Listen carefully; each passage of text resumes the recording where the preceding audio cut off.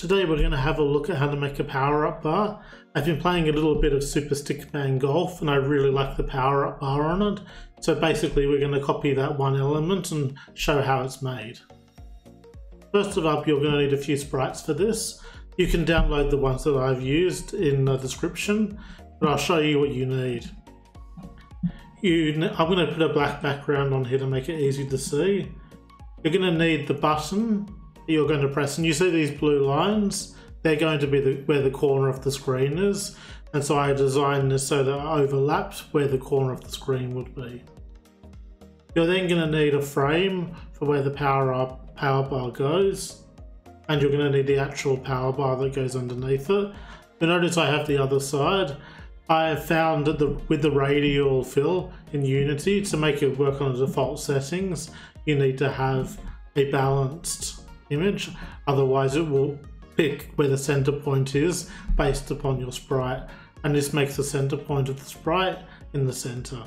There are ways to do it without that, but this is the quickest and simplest way.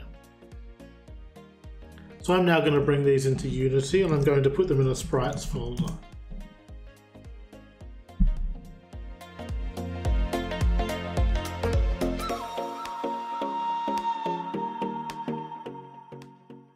And then I'm going to turn these into sprites by going from the default type to the sprite type and hitting apply.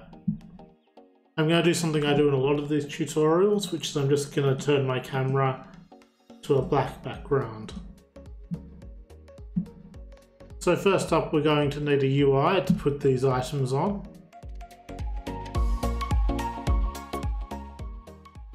I'm going to use Button Text Mesh Pro and I'm going to import TMP Essentials.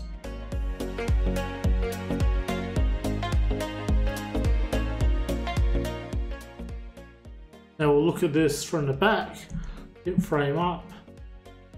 With our canvas, we'll change it to camera, we'll drop the main camera in, and we'll do the distance of one.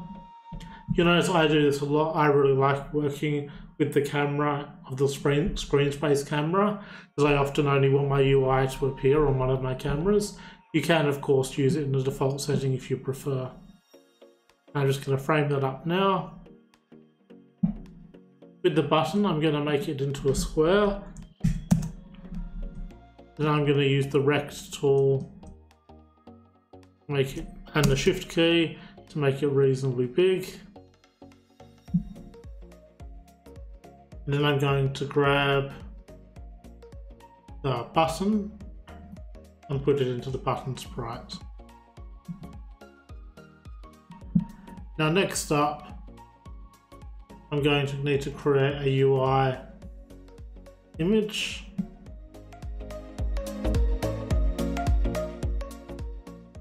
And in this image, we're going to put the power up frame and we're going to drag the size of that image to the corners. I'm also going to reduce the size of my 3D gizmos because they're a bit big.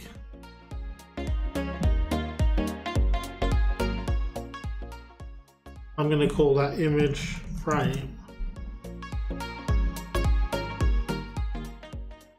I'm going to duplicate this and we'll drop the power up bar into it.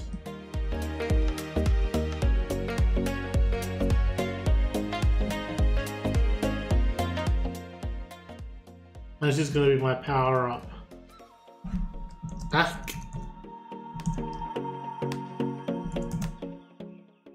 Now I'm going to duplicate this. That's just going to be my power up bar. Frame needs to be on top of those two.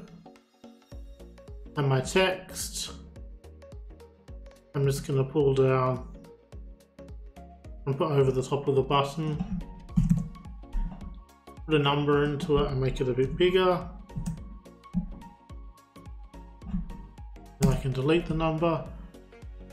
And then I'm going to grab the button, which has everything childed to it, and bring it down to the corner of the screen, something like that.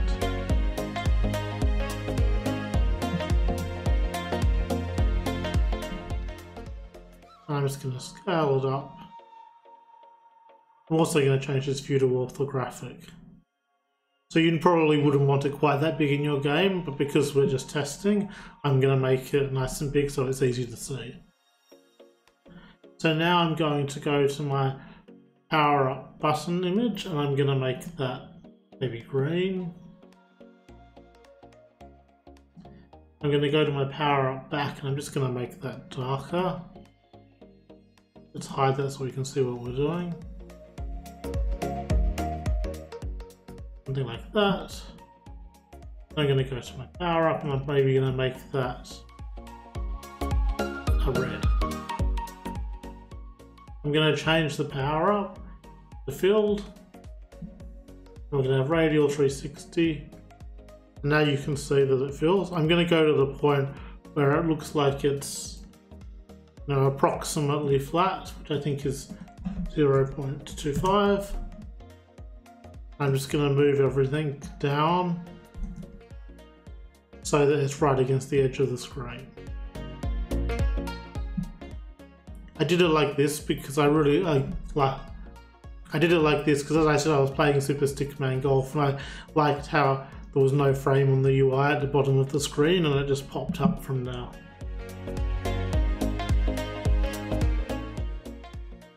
Okay, so you're going to need to note that 0.25 is your bottom number and your top number is going to be something like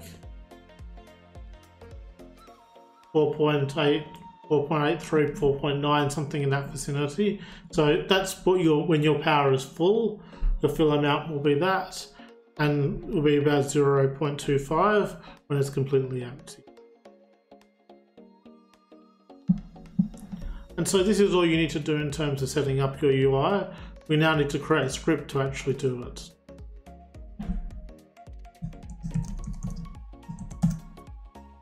I'm going to put that into a scripts folder.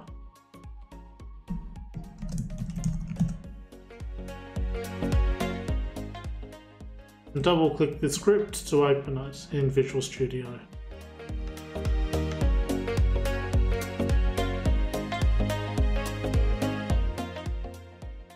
First of all, we're going to add the extra libraries we're going to need, which is the Unity UI library and TextMesh Pro, because we're going to use the TextMesh Pro text to describe the power and a number.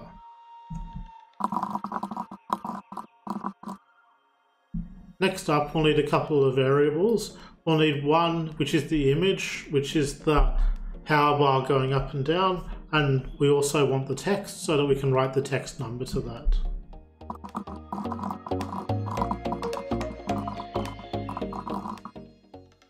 We won't necessarily need the start function, so we can get rid of that.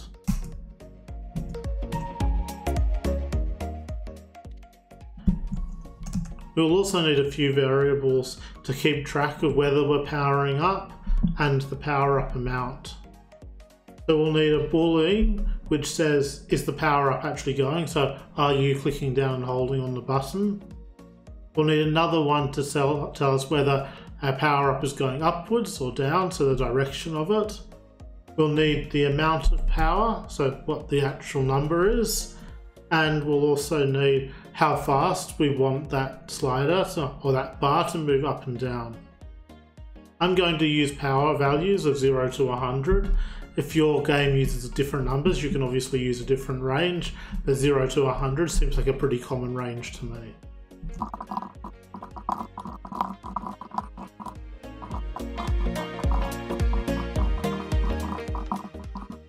Now you'll notice I've initialized these all to values. I've initialized them to values assuming that a power bar isn't on when the game starts and it's at zero. So let's start making the functions that we need to start the power up and to stop the power up. So when you click on the button and when you um, do your mouse up on the button. So I, and I realize on the UI, when you first do it, there's only on click, but I'll show you when we go back to Unity how to add the different events to make this work.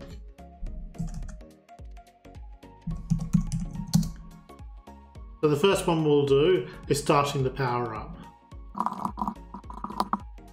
In here we want to set is power up to true, our amount power to zero, a direction to be up, and then we also want to set the text on our power amount nothing because I feel like when we're actually clicking the button, you don't want to see the number. You only want to see the number of power after you've finished.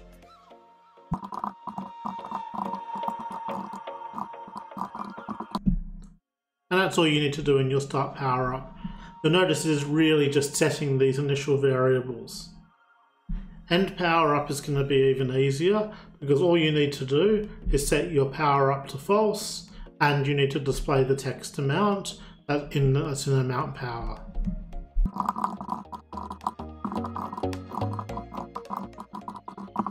Now what I've done here when I've displayed the amount power to string F0, what that means is it's a floating point with no decimal places if you're interested in this and you just need to look up to string and you'll see all the different types of things you can put in here. But basically what I'm doing is I'm taking my decimal value and just showing the whole number part of it because I feel like, at least for me, I just want to show the number between 0 and 100 with no decimal point. So now you have your start power up and your end power up, you'll need to actually do the physical powering up of the bar. So we're going to do this in a function called powerActive.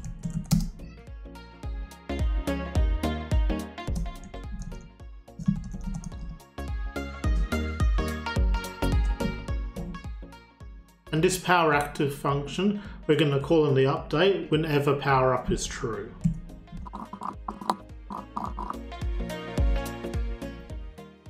So in here we're going to have an if with two different cases we're going to have the case that direction is up is true, which means that we're increasing our amount, or if direction up is false, we're decreasing the amount.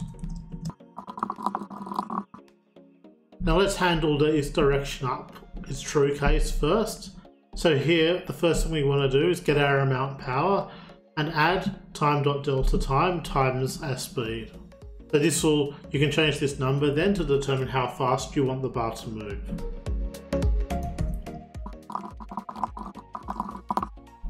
Now we need to determine here after we've added this amount if our amount power is greater than 100. If that's the case, it means that we've actually reached the top of the bar.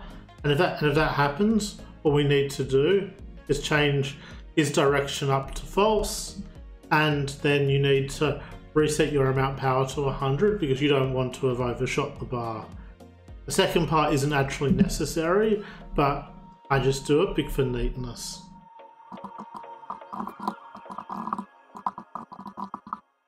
So now that you've done that, you can guess the, the opposite case is pretty much the same, except that you're going to be looking if it's less than zero and you're going to be decreasing your power speed. So let's copy all of this, paste it in here and change it to make it work appropriately.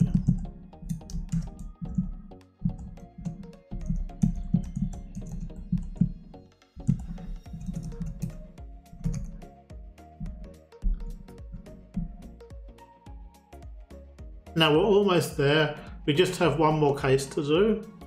I'm going to do this outside of this if statement because you're going to update the fill whenever this is called, regardless of what happens, because you're only doing it when power up is true. Now here we just need to do a little bit of maths to make it work. The first thing we want to do is get our range, and if you remember we said that the top value of our slider was 0.83 and our bottom value is 0.25. So let's do that to get our range.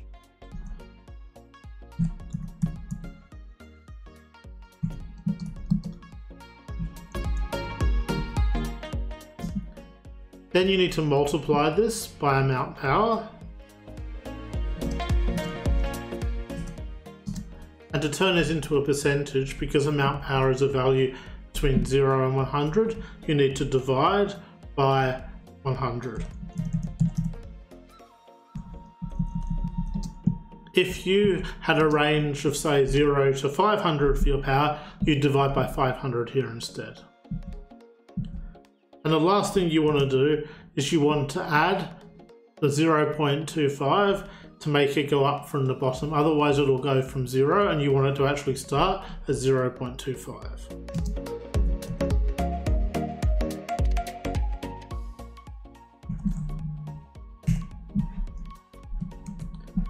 And now save this and let's go back to Unity and set it all up.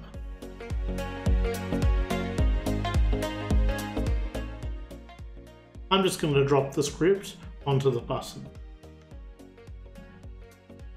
I'm going to drop the image power up into the power up. I'm going to drop the text into the text field. And I'm also going to turn our power up down so that it's completely off when we start.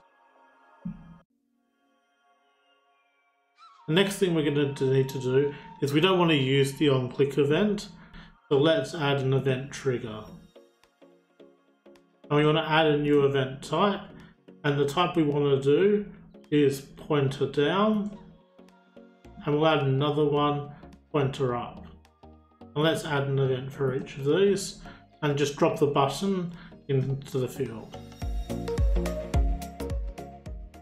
So for pointer down, we're going to start the power up.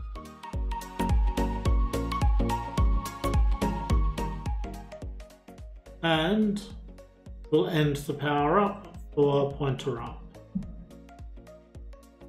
So let's press play and give this a go.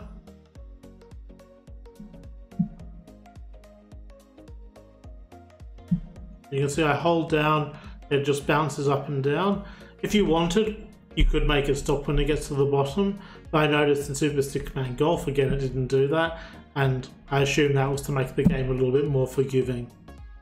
And then I showed the number here. I don't know whether you want to show the number or not, but I thought that it would be kind of useful to the user to see what number they had. And I thought that if they could see the number going up and down, they may actually try to stop based on the number rather than the bar.